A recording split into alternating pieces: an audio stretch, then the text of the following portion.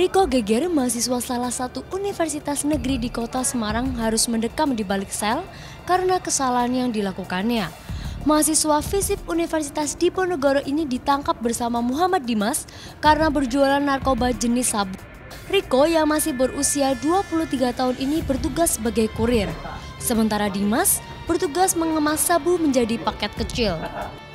Keduanya diperintah seorang bernama Anton yang diduga otak dari peredaran narkoba yang dijalankan Riko dan Dimas. Dalam aksinya, Riko menaruh paket sabu di tempat-tempat yang sudah ditentukan. Naruh naruh oh, naruh naruh gitu ya oh Biar kasih berapa? Ya. Dikasih berapa? 350 per Per itu. per kantong Udah berapa mas?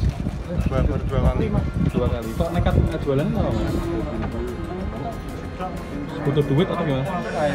Sambet itu ya? Gimana? karena pergaulannya terlalu dalam masuk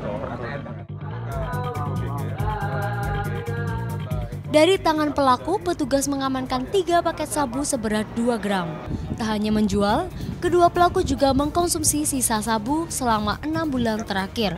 status sebagai pengedar dan merupakan juga eh, TO dari yang sudah dilakukan sebelumnya oleh Sat Narkoba. Jadi kami dalam hal ini dari Sat Narkoba ini berusaha untuk peredaran narkoba yang ada di kota Semarang ini berusaha untuk mengungkap.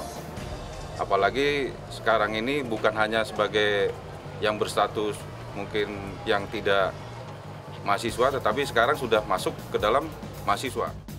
Sebelum ditangkap, Riko pernah diciduk gara-gara mengkonsumsi narkoba dan dihukum dua bulan penjara. Mereka akan dijerat dengan Undang-Undang Narkotika dan Obat Terlarang dengan ancaman hukuman lima tahun penjara. Yusuf Hanggara melaporkan untuk NET.